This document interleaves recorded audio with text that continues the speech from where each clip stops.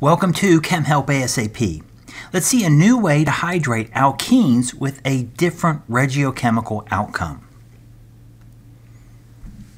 Across the top of the screen is the acid catalyzed addition of water to an alkene. This reaction gives what we call the Markovnikov alcohol. The alcohol on the more highly substituted carbon of the alkene starting material. Across the bottom of the screen, we have a different reaction. It's a two-step process. The first step is a uses a reagent called BH3, borane.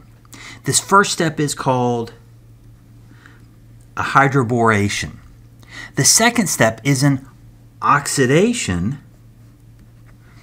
with a mix of water, sodium hydroxide, and hydrogen peroxide, H2O2, the oxidant. The result of this reaction is the anti-Markovnikov alcohol. The OH group has been added to the less highly substituted carbon of the alkene starting material. You might think, how is that possible since carbocations should favor the higher substituted carbon? Well, the hydroboration does not go through a carbocation intermediate. Let's see how it works. In the hydroboration, BH3 adds to an alkene. A hydrogen goes on one carbon, and a BH2 goes on the other carbon. This addition happens in one step. There is no carbocation intermediate. There are two ways we can think of this happening in a regiochemistry sense. The first option is in the middle of the top row. The H can go on the less hindered carbon, and the BH2 can go on the more hindered side. The second option is to reverse the position of the H and BH2. Which is better? The second option is favored because of sterics. The BH2 is the big side of BH3, putting a larger BH2 group with the more substituted alkene gives rise to steric repulsion, a large steric repulsion.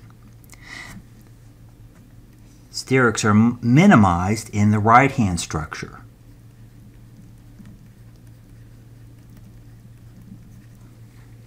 That means the major product of the hydroboration is the molecule shown down in the bottom left of the screen. This is an organoborane. It has a carbon-boron bond. In the second step, an oxidation is performed. This oxidation converts the CB bond into a CO bond to give an alcohol. The end result gives a net hydration.